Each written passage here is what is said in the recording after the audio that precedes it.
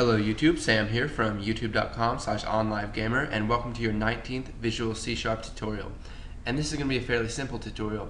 What we're going to be talking about is the properties bar for Windows Forms and um, buttons for now because we used a button in the previous tutorial. So let's go over here to our form1.cs design from our previous tutorial and you can see here we've got form 1. Now if you click on form 1, make sure it's selected, you'll see a dotted line around the outside edge and come over here to the right and you'll find this bar called properties.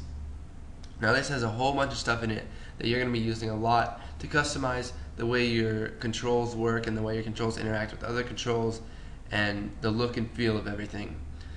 So let's go ahead and take a look at some of the most important things we're going to use and some of the other things. So here we've got name.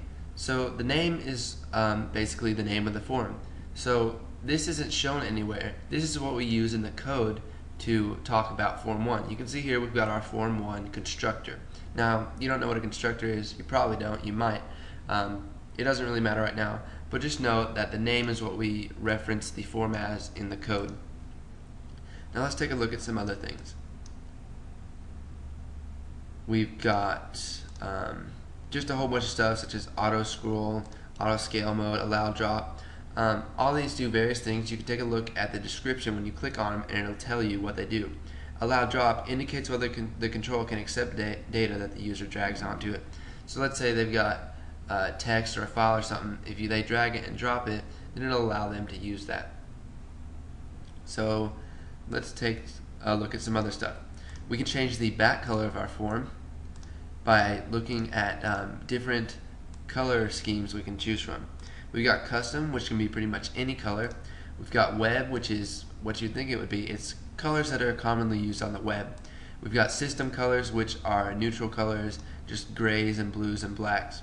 So let's go and change the background to, let's say, active border. Now, you can see here that this is a Windows Aero basic theme that we've got going on right here on the window. But when we run it, if we have Aero enabled, it's going to show up as Aero see that right there. You can see that there's a difference there. Because when you're designing it, it's only got the basic theme. Now we can set an image for the background um, just by clicking these three dots and check re local resource and you can import a picture to use there. So go ahead and cancel that. Um, we've got a whole bunch of other stuff. You can change the cursor too. So whenever they move their cursor over this um, form, it's going to change to uh, a different icon if we change it oh, something else from the default. So if we change it to no, when the user moves their mouse over this form, you can see it gives us a caution sign. Now you can also set this for certain controls. So if a control is not supposed to be used right then, let's say you don't want to use say hello, you can set it to when they move this over say hello, it's going to tell show them that they can't click it. And you can also set it to um, disable too. So and that's where that comes in, enabled. So enabled basically means you can use it or not. So let's go over here and check the button and we'll disable the button and see what that looks like. So we can just change that to false. And you can see here that we can't click the button, we can't do anything from it. It looks like it's kind of recessed into the form. Now you can change this throughout your code if you want to. Now basically the way you would do that is use the name of the object. So in our case, um, the button is button say hello so what we're going to do is type button say hello and then this is where we can access all of the properties of it.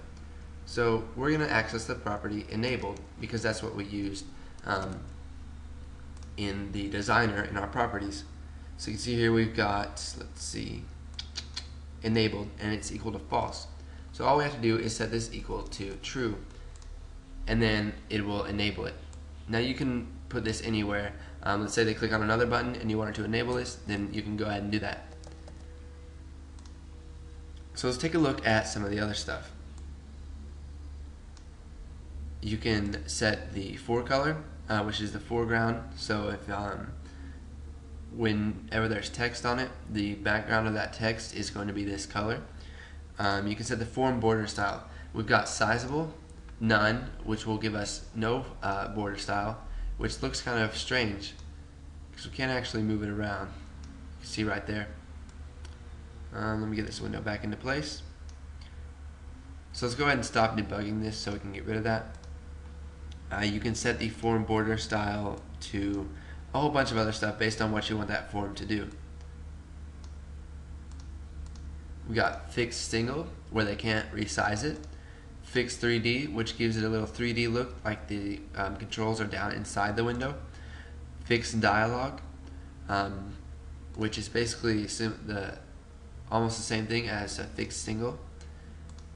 Uh, we've got sizable, where you can change the window size all you want. Fixed tool window, which just gives us a close button and you can't resize it and sizable tool window, which is the same thing as the fixed tool window, except you can resize it, of course. Um, you can change the icon by um, importing a .ico file. Uh, let's see if I have one here. Looks like I don't have one. So I'll just go ahead and cancel that. And let's see what else we have. You can set the language. You can um, allow them to maximize or minimize, or you can disallow them from doing that. And you can do a whole bunch of other stuff. Now, what you can do with buttons is you can dock them. Now, what this basically means is that it will attach itself to certain parts of the form. So if we dock it to the top, you can see it um, expands out to all sides and it attaches itself to the top. Now we can dock it by clicking the middle button, it'll fill up the whole thing. Bottom goes to the bottom, keeping the size. Left goes to the left, keeping the length. Right it will do the same thing as it did for the left, and um, none, which will leave it the way it was. So I've left out a whole bunch of stuff here, um, but you can go ahead and go through this, click on them, and you can read the uh, description of that property down below.